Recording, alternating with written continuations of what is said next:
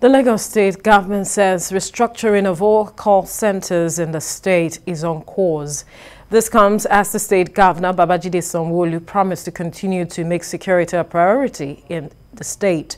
The governor stated this at the 15th annual town hall meeting on security organized by the State Security Trust Fund. TVC News senior correspondent Ivy Kanu reports. It was a hall packed by donors, board members and managers of Lagos State Security Trust Fund. It's been 15 years of collaboration between the stakeholders to ensure that the state, people and businesses are secured. It's a time to give a breakdown of funds received, disbursed and for what purpose.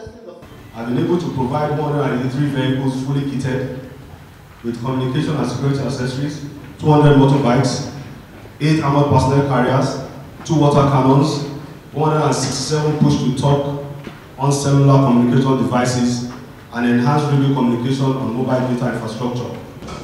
The fund has continued to play a pivotal role in the enhancement of the security architecture in Lagos State through successive administrations to date because of the shared understanding of the relationship between development and security no meaningful development can be achieved without security.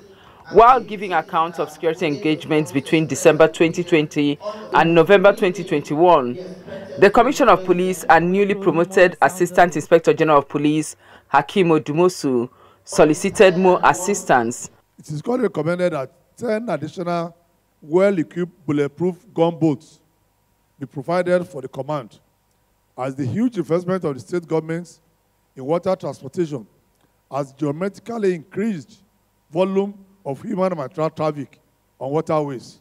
Guests at the meeting had opportunity to ask questions and make suggestions. The state governor Babajide Sanwo-Olu gave an insight into some of the plans of his administration. The state government, using the Security Trust Fund, were able to make investment of over 3 billion naira. And so we're building a 21st century call center. We've started installing high definition cameras at strategic locations in the states, right? And we're hoping that before the end of next year, we will have a couple of thousands.